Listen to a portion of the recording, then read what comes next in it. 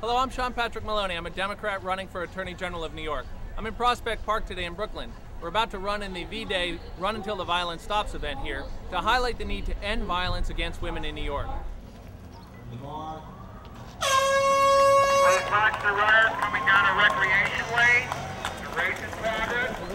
Now, you know, the Attorney General has a critical role to play. First, we have got to get on top of the sex trade in New York that traffics young women and girls in the prostitution industry. Illegally, it happens every day in New York. We also have to prioritize violence being conducted against women who are seeking reproductive services. We have to open family courts so that more women have access to life-saving orders of protection.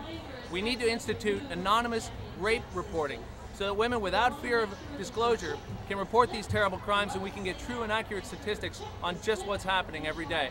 We have to create a women's task force within the Attorney General's office. We need to staff it and prioritize these cases until we make a difference. If you give me a chance to be New York's next Attorney General, that's just what I'm going to do. Thanks for watching.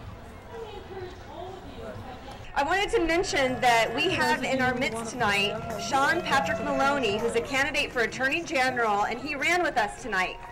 He's the father of two young daughters, and he understands that violence against women can only be defeated through education and awareness. Thank you, Sean, for running until the violence stops.